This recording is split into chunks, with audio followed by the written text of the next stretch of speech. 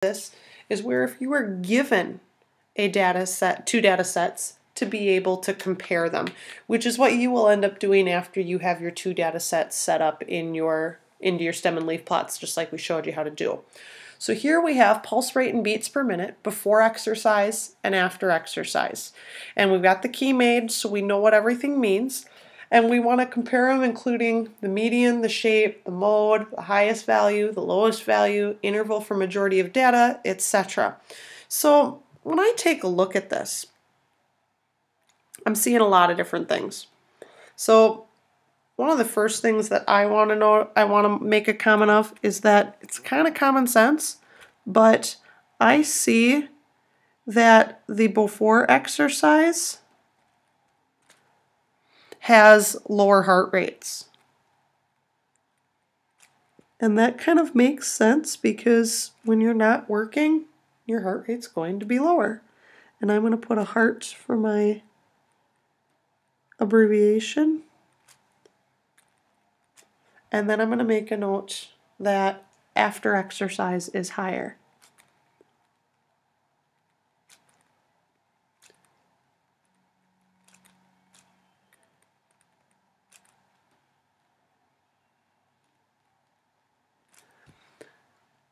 I'm also noticing that if I calculate the medians of this, which I'm going to show you how to do that real quickly on a stem and leaf plot, um, because it is useful to know.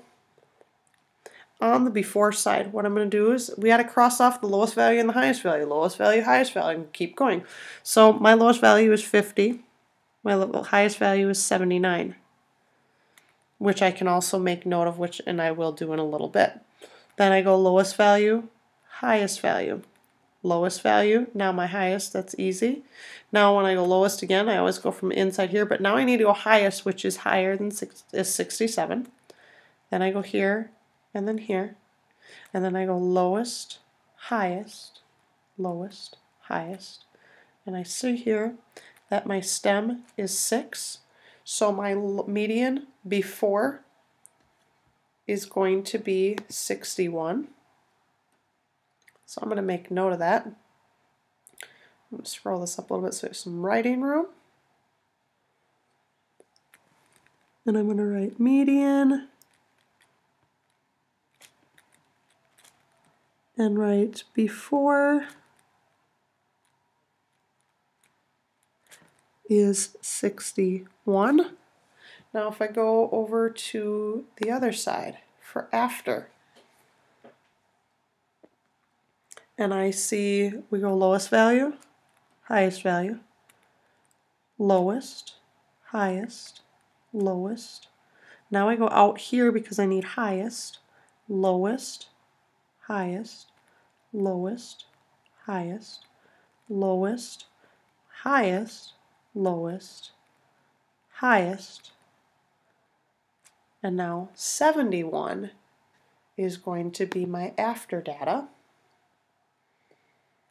So I'm going to make a comment that after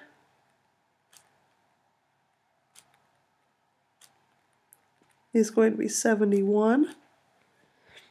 And I also am noticing that the modes for mode we run into a bimodal situation both times. For before, and I'm now going to abbreviate that with a B, we have modes of 60 and 66. And after, we're running into 68 and 74.